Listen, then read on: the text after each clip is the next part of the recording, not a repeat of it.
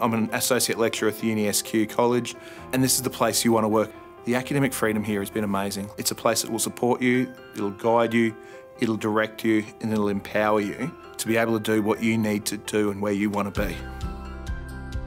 So I've lived in Ipswich for a majority of my life and I, you know, wanted to stay within the region and work within the region. I think being employed within your own community and, and what you can contribute within your own community is really important to me. I absolutely value education and to work with other First Nations people who have aspired in education is inspirational. You know, it really motivates you and drives you to want to achieve more. I'm a maintenance officer here at UniSQ.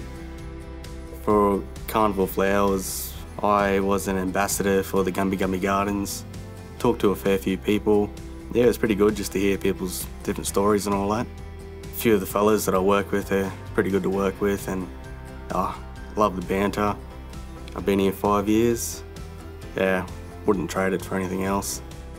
I felt like it was much easier to accept a role here knowing that I could still practice a little. At times it feels like just me as the Aboriginal female criminal lawyer in our jurisdiction. So the uni definitely had a difficult time convincing me that I had more to offer over here than I did in the courtroom.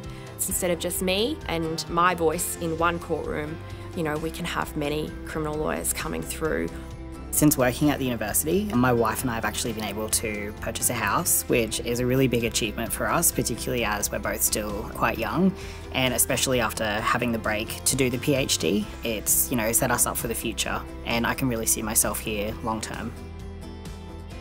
We really need to be able to demonstrate that working in the education sector is a potential career opportunity and by having more First Nations people working in the education sector, one, we also provide a safe space for not only our First Nations mob but we also educate non-Indigenous people.